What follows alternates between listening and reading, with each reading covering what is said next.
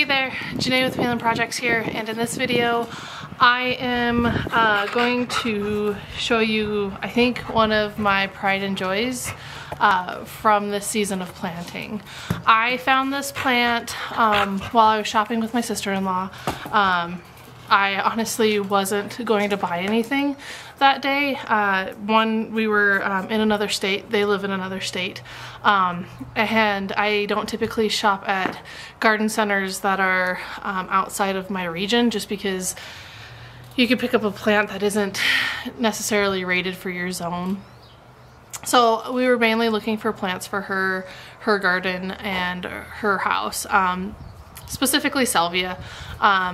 Salvia is a pretty hardy plant and she has honeybees so um, I know honeybees love salvia. So it was one of those things where we were just searching for some perennial salvia and I found this glorious plant. Um, now to kind of put this into perspective, I've been wanting one of these for probably three years. Um, I have looked online and I was going to order one from their online shop and I just haven't pulled the trigger yet. I found this at this garden center and it was there there were a couple different varieties there um, and I think this one is just it's it's gonna be just absolutely perfect um, but without any further ado um, look what I have guys I am so excited um, I have wanted a David Austin rose for, like I said, years now, ever since I found out about them. Um, I've, I've really, um, I've really wanted to get one and I just haven't pulled the trigger on buying one, mainly because of buying online. Um, nothing wrong with that, I just, I'm a little wary about buying stuff online. I like to see it in person. I like to be able to pick out the one that I want and um, I, I finally got to see them in person. Um, I've never seen one, I've never seen one, I don't think, in my area um, at any, I haven't like really searched for them though. Um, I'm, I'm thinking there's one nursery up um, north of us that probably carries them. I just haven't searched them out because I don't know, I felt like when the time was right, it would just come into my life. Um, and this one did. So let me um, get the tag off here. I don't have my, oh, my skizzers with me, or my pruners, else I would take my pruners to it. Because um, I, I want to show you guys just this glorious, glorious rose.